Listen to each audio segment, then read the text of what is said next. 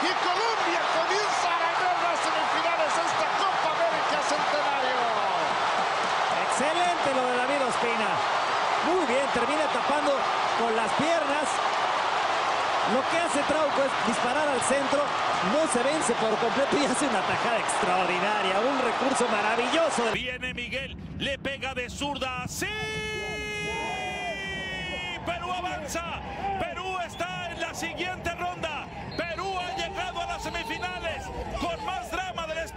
con mucha emotividad,